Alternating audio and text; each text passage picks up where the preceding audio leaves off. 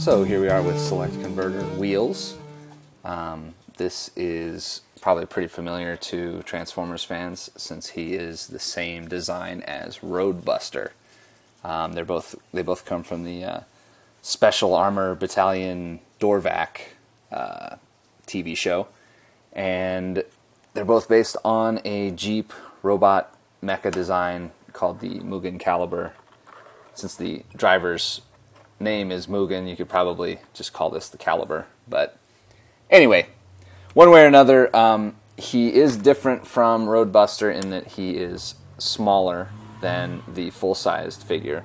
A lot of the select convertors were from uh, downsized versions of common molds from Macross and other anime. So, anyway, just looking at him for what he is, uh, one big difference is that he is all this sort of army green.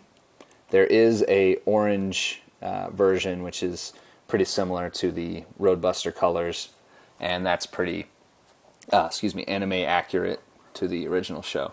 But I kind of like this one better. Um, it may not come across that well on the camera, but in person, it just it really looks solid and kind of gives it a cool mech feel.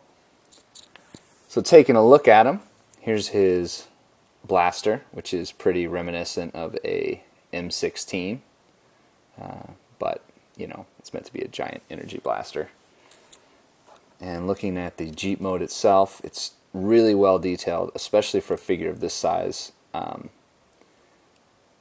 cool seat, um, which you can't make it out, but there are actually little controls in the arms of the seat, and the seat itself has little lines in it. Um, very well detailed. I guess it's supposed to be the steering wheel. Um, you know, various bits are picked out in plastic. Um, not really any painted detail. It's all done with stickers, but the stickers have held up really well on this, and you see the headlights there. They look pretty good. The windshield is a solid piece of plastic, so they just have this shiny blue. Let's say it's solid. They have this shiny blue sticker with uh, little windshield wipers, and just some details on the side here. It says wheels on his hood with a star. Um, so yeah, overall, he's just extra, extremely good-looking, uh, well-detailed figure. Um, as for his transformation, it's pretty much identical to Roadbuster, um, just scaled down.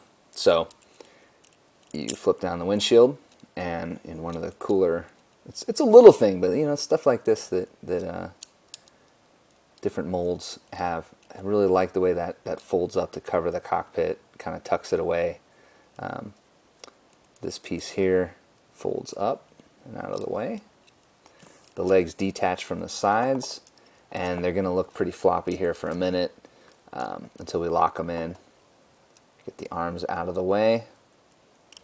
And then, I don't know if you can make it out, but there's a hole that's shaped just perfectly. These plug in. And they'll go in all the way. I like to leave them a little out so that he's got some, uh, like a wider stance. Flip out the toe pieces, form the feet. And then, of course, the dramatic head reveal. And then you lock that in. And there he is. Um, he's a very cool looking robot. I've always been a fan of this design and being downsized doesn't really affect him.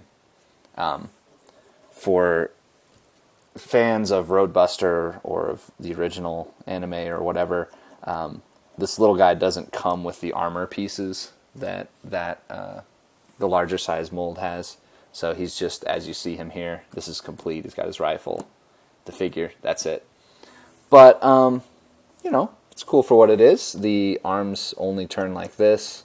There's no head articulation. There's no leg articulation. There's nothing. There's just the arms. So he is super old school. But very well detailed, and he looks really good. Um, you know, articulation aside, if this came out today, I think that um, I think that it would sell. It, it looks really cool, and even for a small size figure, it's super solid. And obviously, this one's held up very well over the what 26 years at the time I record this. Um, I don't know that you can make it out very well, um, but the head design is really cool, and, and I like the way it looks one color.